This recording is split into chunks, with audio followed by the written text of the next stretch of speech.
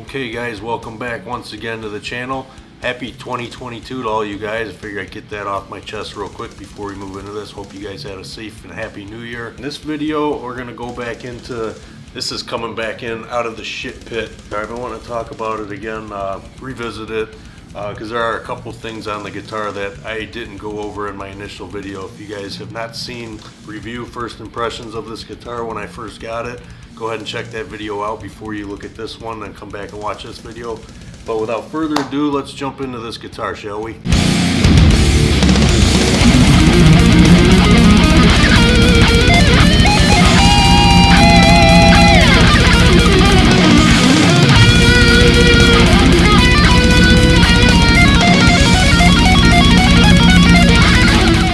Couple of new things. I will go over everything once again just to give this video an update, a fresh coat of paint on it so you guys can see what the hell I'm talking about with how many QC issues are on this guitar.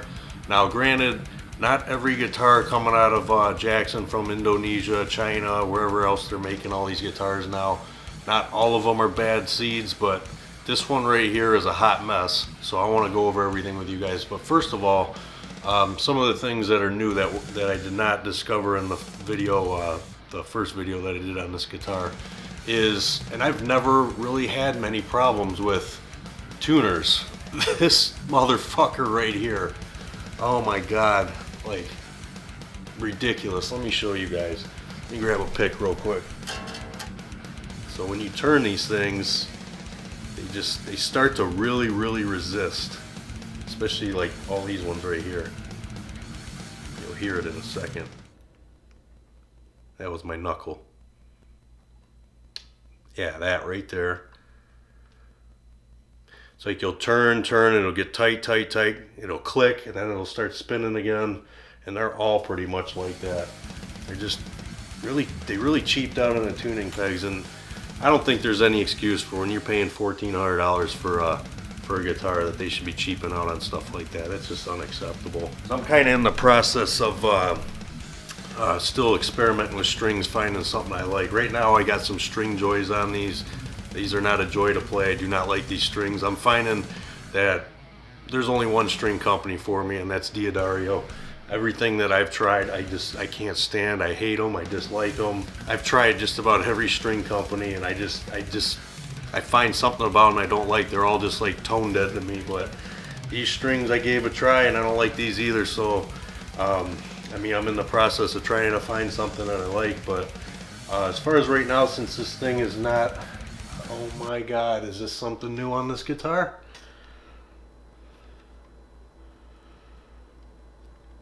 Yeah, that might be, uh, that might be one of the issues. I'm, I, I'm just now seeing this, guys.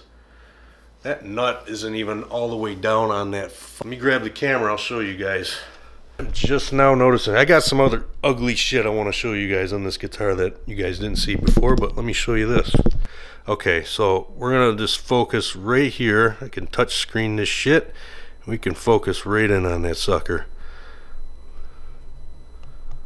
You guys see that right there? Let me see if I can do it again. Please. Pretty please, Sony? Would you? No, you won't do it for me, will you? Alright, how about right here? That doesn't want to work anymore. I love this camera, but I fucking hate it at the same time. So, I don't know if you guys can see that, but there is definitely a funky gap right there, and it's not seated all the way down. Yeah, I, I just now noticed this as I was looking at the guitar talking to you guys because it's like I'm always finding something on this guitar each time I pick it up.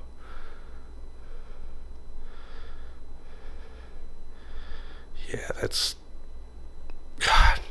These things, like I said before I even before I even got to this part, I told you guys this guitar is a hot mess, and I ain't even bullshitting about that. So this was another thing I wanted to show you guys, because um, I had the truss rod cover over this. Look at how much of a just abomination that is inside there. Look how disgusting that is. Look how ugly. I mean, just like you, you really left. You look, yeah. You really let it leave the factory like that. You couldn't do just, I don't know, spend a couple minutes and do just a little bit better job of cleaning that up in there. Seriously? We're talking a guitar. These are going for $13.99 now. Pro Series. Yeah, Pro Series my ass. And this is the number one thing I always look for every time I pick up a guitar is the fret ends. This is the first thing I go to. And this guy right here, the razor's edge on every single fret. They get worse as you get closer to right here where it joins the, bar, the body. But can you guys hear that?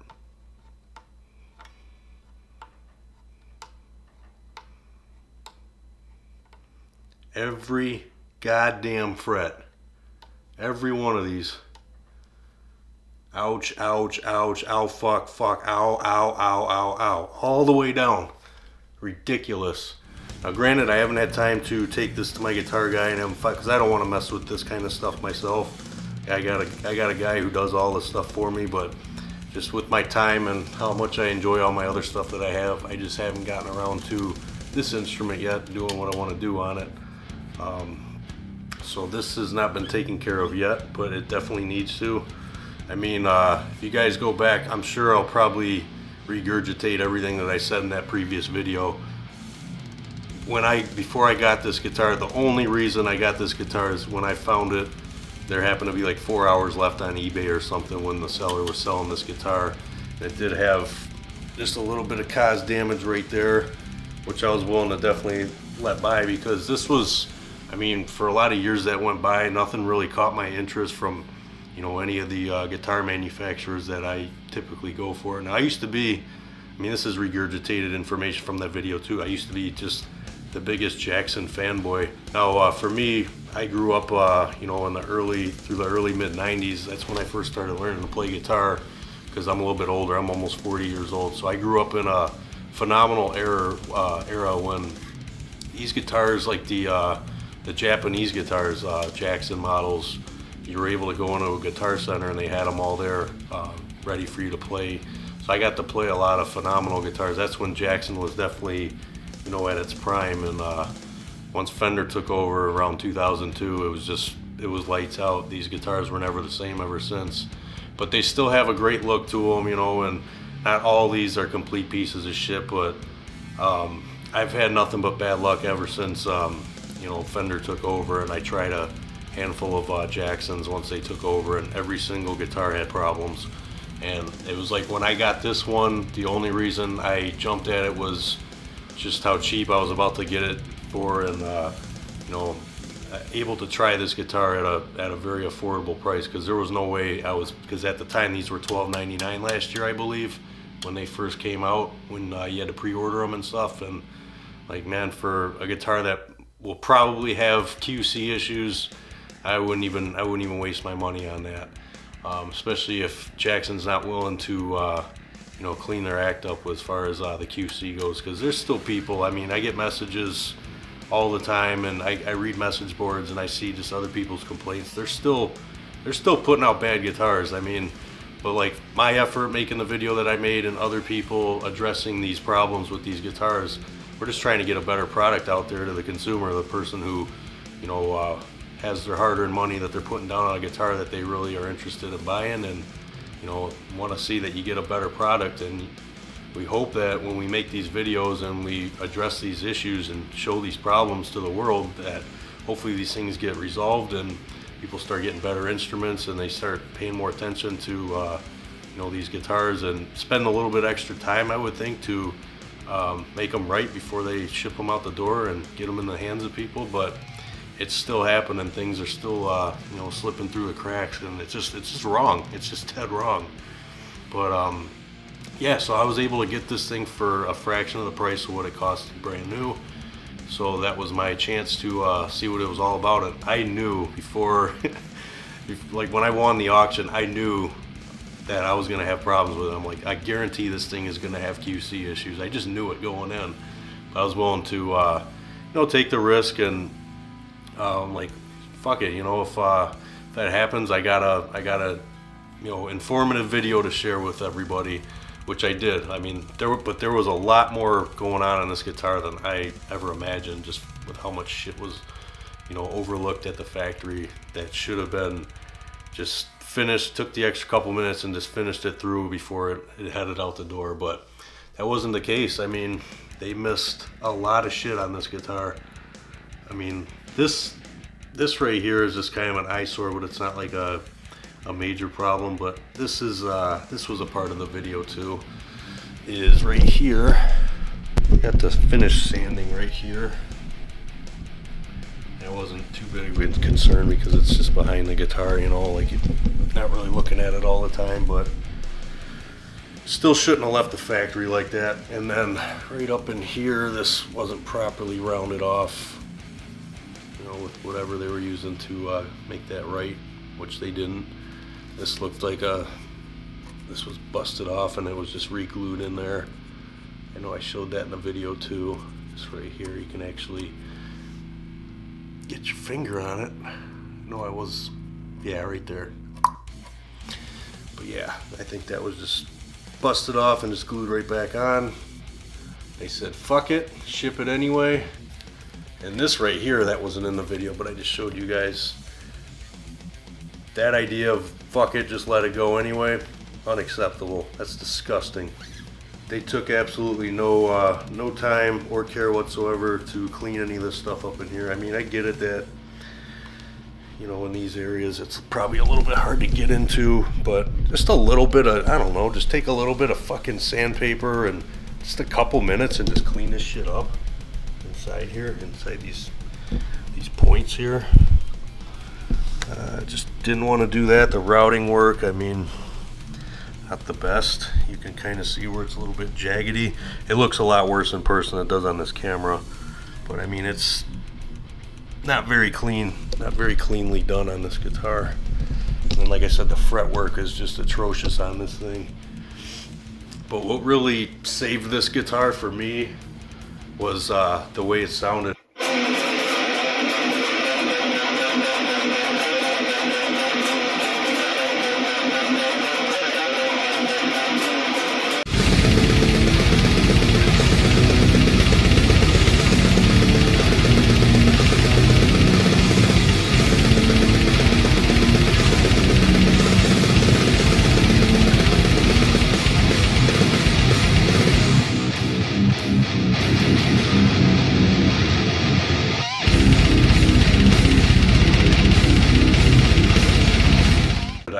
Doesn't sound good with the strings that I have on it right now. In standard tuning, I think it had like 10 to 59 strings on it. That's what I ended up buying again. I'm gonna put those back on here and uh, probably just rock it in standard tuning. I might actually try to tune it down a little bit from there, just see what I can get away with. Every guitar is different, but these strings sound very muddy on this guitar and I've only got it down a whole step. I got it down to drop A and it just, it sounds very, very muddy. Very muddy waters, disgusting. Muddy McMudson. So it's too much for me and uh, yeah, I'm just gonna cut these strings off and say, you know, never gonna buy Stringjoys again. Only gonna buy D'Addario, it's my favorite guitar string. So uh, other than that, I mean, as far as everything being lined up properly, you know, no no complaints there. All the other stuff, it's just it's unacceptable work, you know, for how much these guitars go for, and it's a shame that you know not only myself but uh, a lot of you guys out there are still getting bad guitars from Jackson. They're just they're just they've never been the same ever since. And I see, you know, when I go on Instagram or I go on uh, some of the some of the other pages, you know, people have the same have the same issues and it's talked about. I mean, you can't hide you can't hide from the internet when uh, when it comes to this kind of information because it, if any of this stuff didn't exist, people wouldn't be talking about it, and people should be talking about it. They should be very pissed off because of the you know amount of money these guitars. I mean, I've I haven't even seen this many quality control issues even on like a two three hundred dollar guitar, like a JS series even, and uh, yeah, those those guitars are something else too. But I mean, those are like the the Squiers of uh, of Jackson or some of the other some of the other brands. But yeah, I mean, like this is a new thing here with that that nut I just showed you guys. It just no, it's no good. That's something else I got to deal with. But yeah, I mean, what reeled me in was I really like this finish. This uh, Winter Storm color is really, really nice. This is either an original Floyd or a 1000 series. I think it's a 1000 series. I can't quite remember uh, what the specs were on this, but I mean, overall spec'd out, you know, it's it's a good instrument, but it just it's a hot mess when it gets to your doorstep, clearly.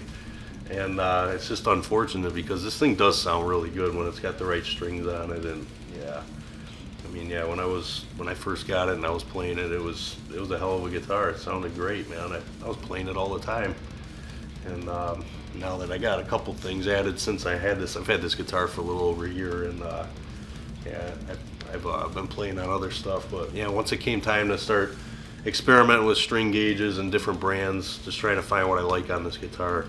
Um, just kind of hung it up because I didn't like what I was hearing on it anymore because I wanted to take it down to drop A, which is where it's at now, but it's just it's not doing anything for me.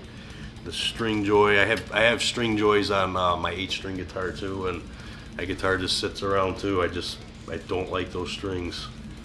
D'Addario all the way. That's my shit. And that is not a paid statement whatsoever. That's just what I like. I just I uh, I tell you guys what I like, and I don't get. Luckily, I don't have any. Uh, endorsements or anything because I can just say whatever the hell I want. If it's shitty, I can tell you guys. If it's good, I can tell you guys that too. There's no pressure. But yeah, I just figured I'd revisit this guitar and um, yeah, just go over everything with you guys on this thing again and let you know uh, some of the other things I didn't cover in that video. And then obviously the new thing with the nut, which really sucks. The tuning pegs, those are atrocious. You know, they gotta they gotta step their game up on the tuning pegs for sure they got to step. They really got to step their game up on pretty much front to back, top to bottom, left to right on all their guitars before they leave the factory. That's the bottom line, you know. Um, but yeah, I'm gonna wrap it up on this video right now, and um, yeah, I appreciate you guys watching. Leave you guys with the metal horns. Stay safe out there. I'll talk to you guys soon. Take care.